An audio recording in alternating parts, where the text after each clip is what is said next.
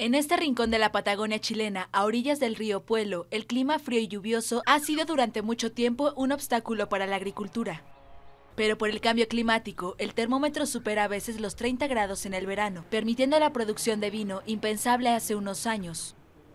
Nosotros logramos encontrar un microclima donde tenemos temperaturas que varían entre los 14 y hasta 32 grados en verano algunos días. Eh, y con eso logramos que la uva madure, logre una maduración forzada a los últimos dos o tres meses de crecimiento y sacamos un vino de las mismas características, la misma graduación alcohólica, los mismos bricks que podríamos obtener en la zona central. Sergio Subiabre plantó las primeras cepas de Pinot Noir hace seis años y vendió sus primeras botellas en 2014. Hoy con una hectárea de viñedos se producen 1.500 botellas al año y creen que se podría experimentar con nuevas variedades de uva en suelo patagónico.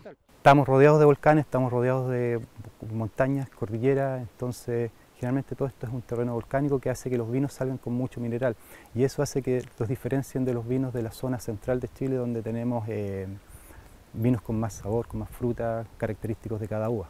El vino de la Patagonia está siendo copiado por otros productores asentados en la zona para disfrutar de sus beneficios extraordinarios.